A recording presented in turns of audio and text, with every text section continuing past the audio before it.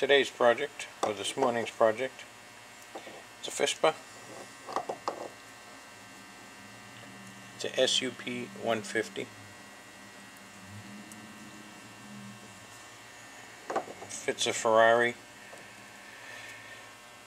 250, 275, and 330. Similar to the um, to the AC Type B pump with this three screw cover and six screws holding it down.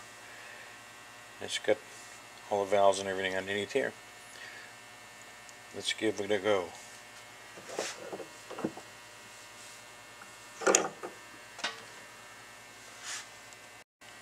First order of business is going to be to mark the clock position.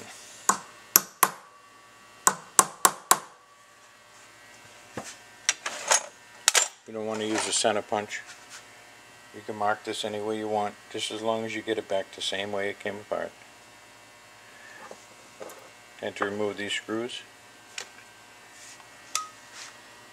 And that'll show you where the valves are.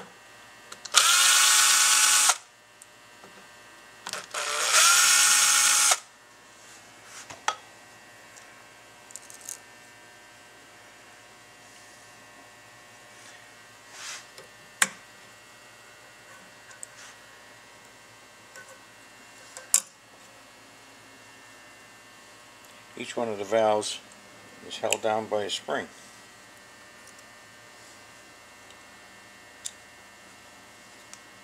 There's your fuel filters. Nothing wrong with those, so we'll be using those again. Get a gasket up here.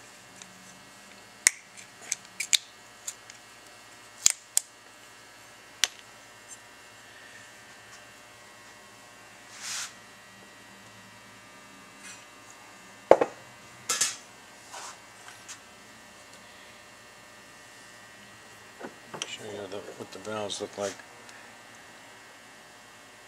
They're down inside here. Like I said, each one's being held down by a spring. And a pretty hefty spring too.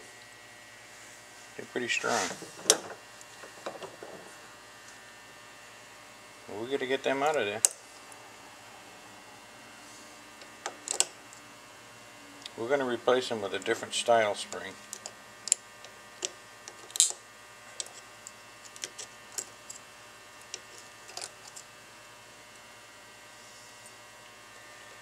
And a different style valve.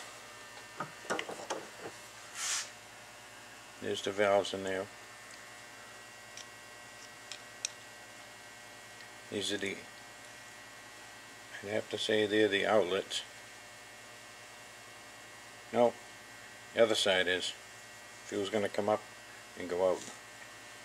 These are the inlet. Oh yeah, E stands for inlet. Or in.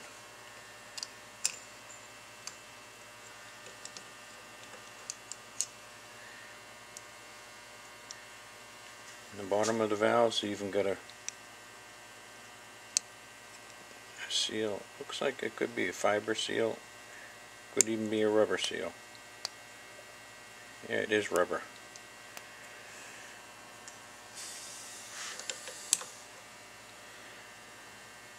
This side uses a seal that's down inside of here.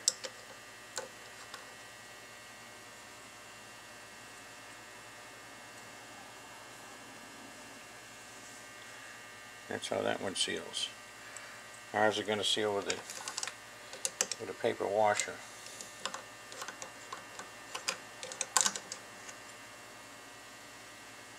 Yeah, seal on that. Now we're going to remove these six screws.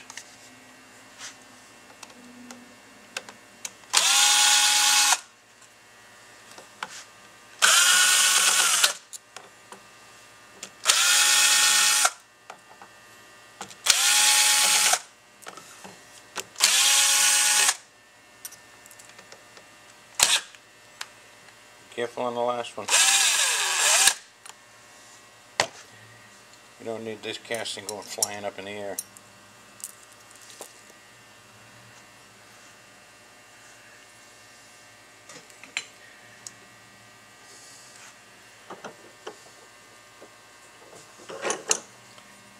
Three screws.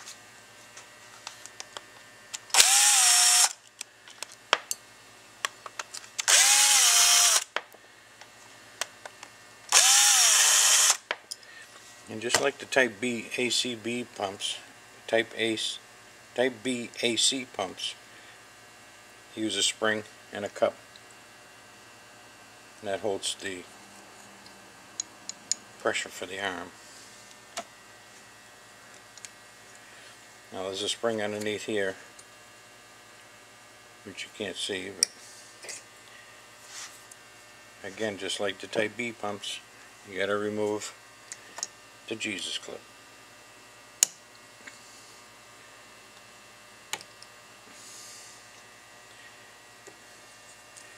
And slide that pin out.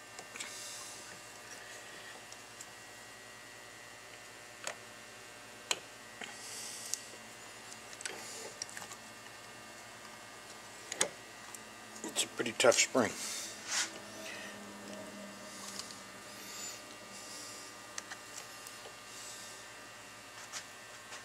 Let me work on this and, and then I'll come back. Okay, we're going to get it out this way.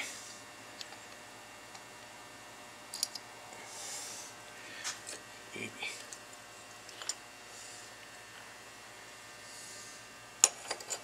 Diaphragm, spring, and the oil seal. Kind of resembles a, um, a valve seal.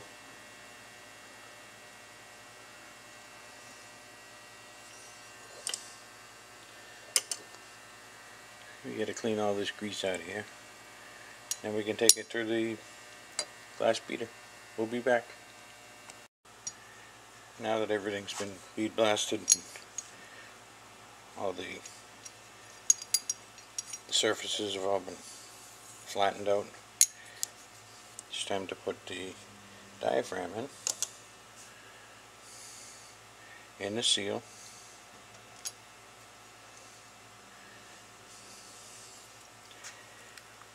See if we can't do this.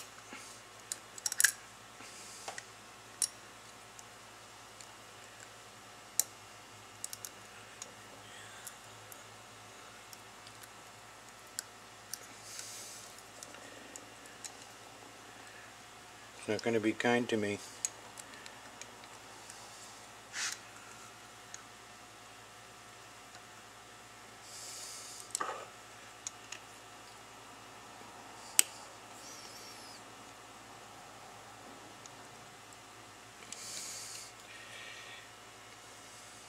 I might need some persuasion to get that pin on all the way.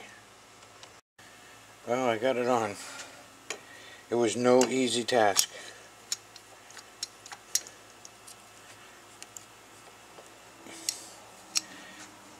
Set that aside. Time for the valves. now you remember the old one, the valves had the seals on the end of them. This is these are our valves.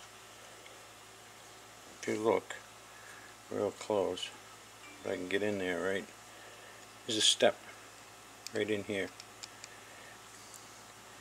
That step is to hold the spring. If you look at the end of the spring, it flares out. The last two coils are larger to fit over that and stay away from the the plate inside. Now the way that I handle these, you got a smaller hole and a bigger hole. We have two different seals.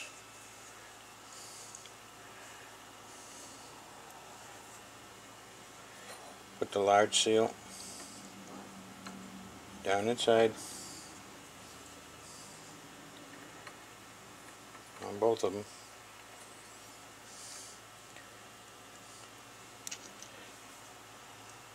Now two of these valves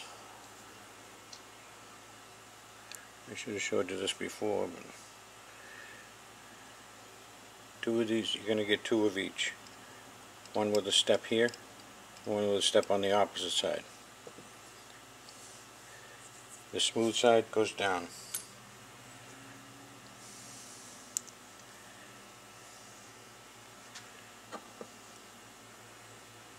On this big, no, I lied. The smooth side goes down, but the valve goes in this way. With that shoulder, the, the undercut up at you. Sorry about that.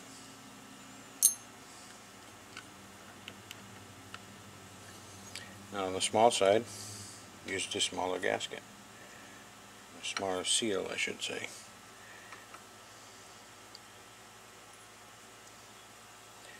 Now this one goes this way.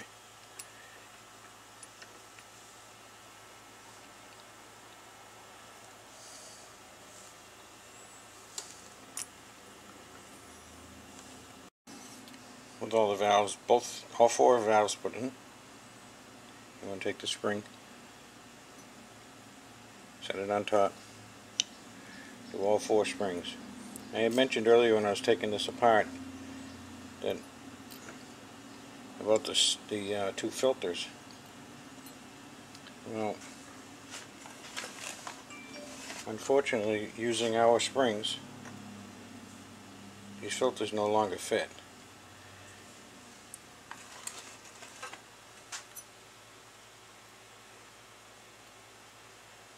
So have to be a external filter, an inline filter.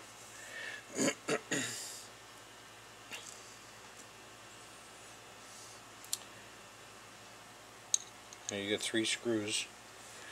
Excuse me.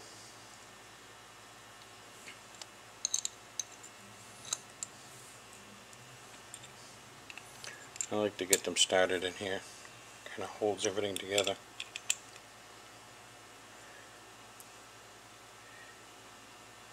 Set it right on top. And press it down.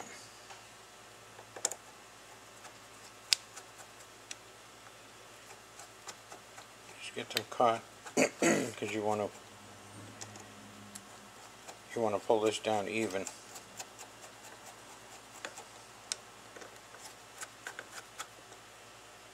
Keep from distorting it.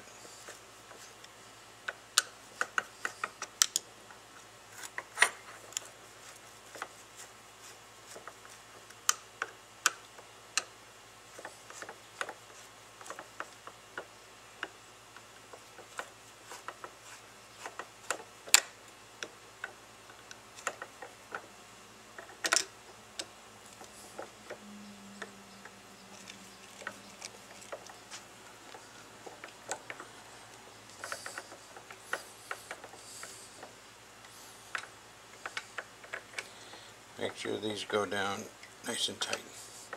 But just keep in mind that you're working with a 1032 screw or whatever the equivalent is in metric.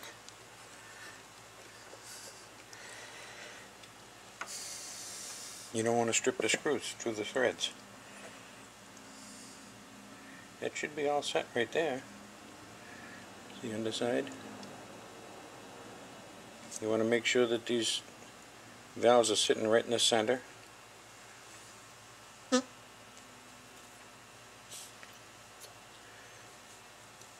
You can test it by trying to suck air out of here and blow air in. You shouldn't be able to blow air in, but you'll be able to pull it out. Same thing with this one, you shouldn't be able to suck air out as the valve closes down. And if there's any leaks, just move that valve around a little bit. You push it against the spring. It's just not sitting straight. But this one came out good.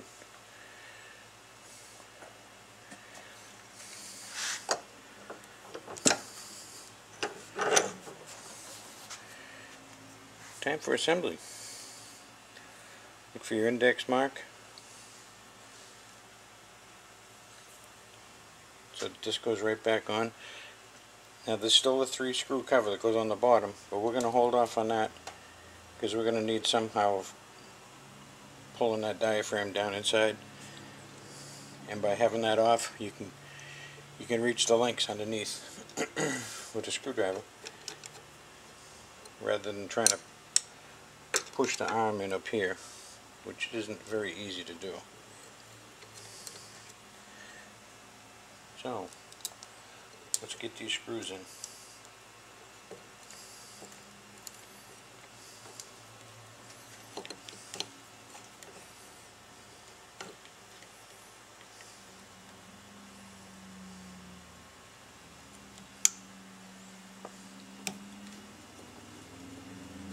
We got one screw with an issue. Look at the washer. You know, it's all flared out on the side. It won't go in that spot. We're going to swap it off with one of these up top. In the meantime, we'll put the other ones in.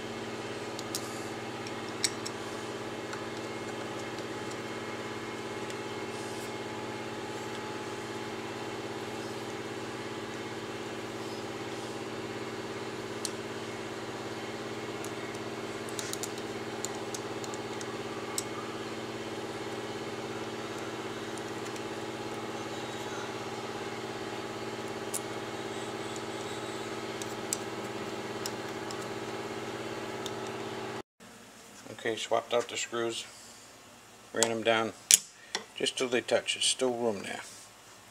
Now I want to catch the link underneath with the screwdriver.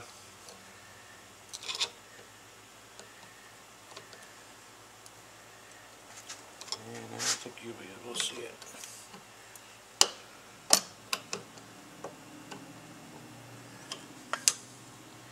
I have to use the smaller screwdriver. Pushing that link down, pulls the diaphragm in, and preloads it. We have to use the big screwdriver. Probably shouldn't be.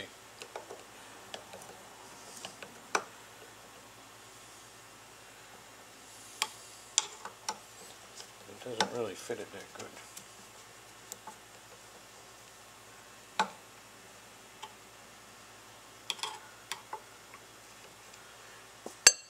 Let's get a different screwdriver.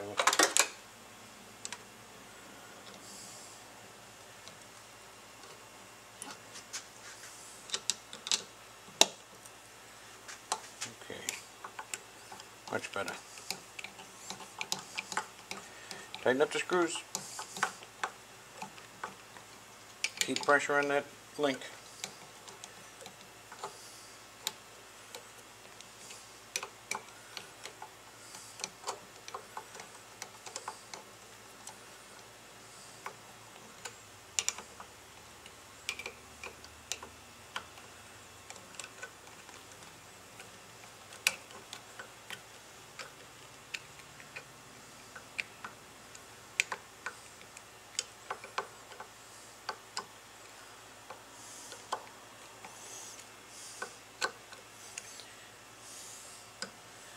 Okay, test, make sure that it is creating a vacuum and pressure. And it is.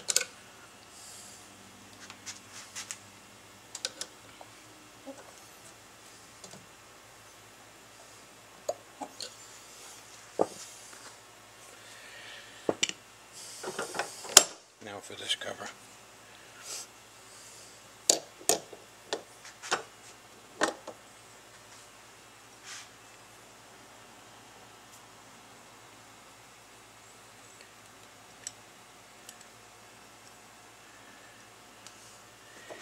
Easier to leave this upside down. Turn the pump to it. And you drop the screw.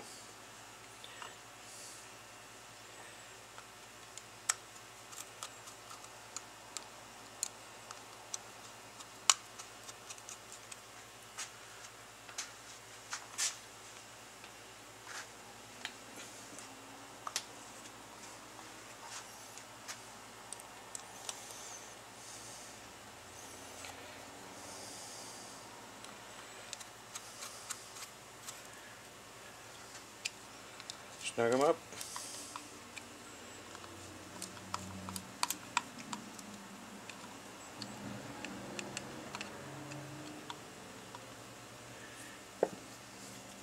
Put a gasket on, and she's ready for that Ferrari.